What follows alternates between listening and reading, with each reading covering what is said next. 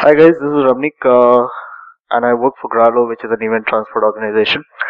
Um, very much like Pavez did, I also made a rough sketch of the boarding pass. So I assume all of you know what a boarding pass looks like in its current form. So just to reiterate the memory of that in your mind, this is what it is. And the main problem is that, as Sunit said, we have a couple of main consumers for a boarding pass. That is the passenger who is traveling himself and the people on the ground, uh, be it your security staff or people who are actually letting you in on the plane. So thanks to the Animus guys and the dot books, uh, I've done a rough sketch, which I've also tweeted on Twitter. It's going to be a bit difficult to show here, but uh, anyway, this is the point.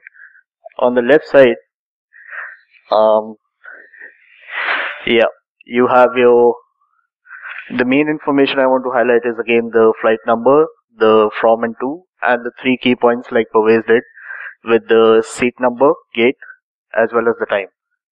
Um, there is secondary information towards the bottom, which is your flight date. Hopefully, you get your pass on the same day that you're flying, so you know when your flight date is.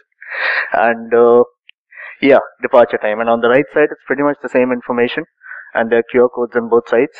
Uh, this is not that well structured, but then again, it's easy for ground staff to get used to this pattern since they'll be dealing with a lot of boarding passes. That's it. Thanks a lot.